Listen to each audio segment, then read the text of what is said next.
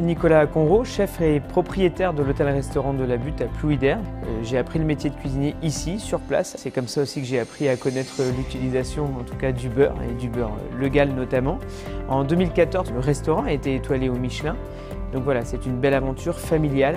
On a un petit peu le même esprit euh, que la laiterie Legal justement. On se fournit avec des produits qui sont autour de nous, on va dire à une cinquantaine de kilomètres euh, à la ronde, en tout cas dans le Finistère. C'est justement pour ça certainement que j'ai accepté et avec plaisir d'être ambassadeur euh, des produits Legal parce qu'aujourd'hui on a cette utilisation du beurre, de la crème dans notre cuisine, dans notre cuisine étoilée.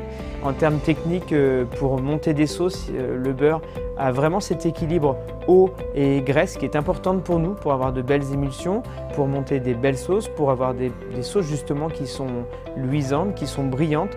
On a besoin d'un beurre fin, d'un beurre qui a du goût et c'est le cas du beurre Legal. L'utilisation de la crème Legal, c'est une crème que l'on aime bien parce qu'elle a un taux de foisonnement qui est intéressant.